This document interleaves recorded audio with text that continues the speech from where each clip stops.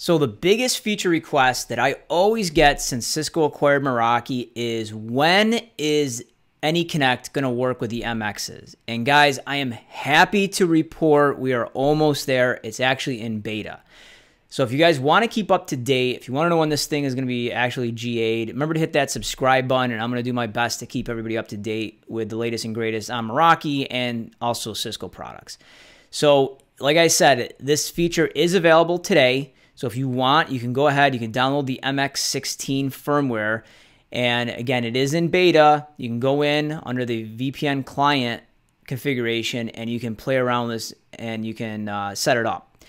Uh, it will require eventually AnyConnect licensing. You will need to purchase a AnyConnect Plus or AnyConnect Apex license, but while it's in beta, you're kind of free to use it. Once it goes GA, you're going to need to upgrade the license, or this feature probably won't won't work anymore.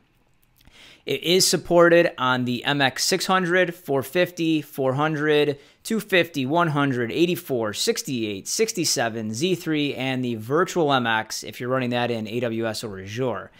Uh, there will be future support on the MX64 or 65, and then it will not be supported on the MX80, 90, 60, or the Z1. If you see my eyes dart down right now, I'm just reading this article that Meraki posted about this. It has a lot of good information in it. I'm going to put a link to this in the description of the video so you guys can go there, click it. Uh, it has a bunch of setup information in it. Go ahead, try to mess around with this yourself. I am going to do another video once I get an updated MX box. The box that I have is a little bit old, so I wasn't able to actually go in and play around with these features yet and see how, how well it worked. Um, but as soon as I get a box, I will do that. I will do another video so you guys can see how that works. So guys, with that, um, hope you enjoyed this video. Remember to hit that, click that subscribe button so you do stay up to date. And as always, appreciate you guys watching.